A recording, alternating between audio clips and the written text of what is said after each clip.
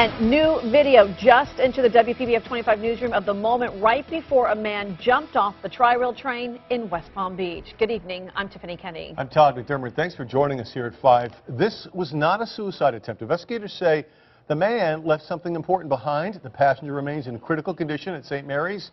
That's where we find Ted White. He thought it was important enough to jump, Ted.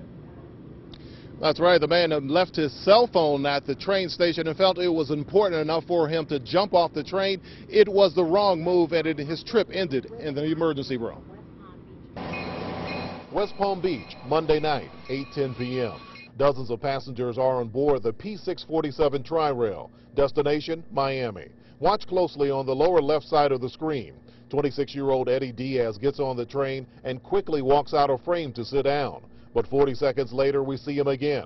The doors have already closed. The train is moving, but Diaz looks like he wants to get off. It appears that he left his cell phone on the bench at the station. He pulls the emergency cord, pries the doors open, and jumps off the moving train. But there's a problem. He tripped and fell because the, the platform, it was raining all day. It was very slippery. What you don't see is Diaz losing his balance and falling backwards on his head.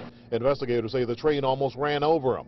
Paramedics rushed him to the hospital with critical injuries. Passengers were eventually told to get off the train. They had to wait nearly two hours before another train left the station.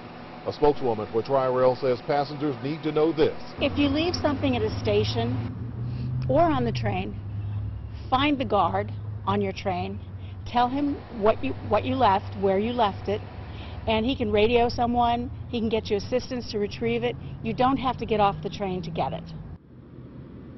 A hospital spokesman says that Diaz remains in critical condition. We're live in West Palm Beach. Ted White, WPBF 25 News.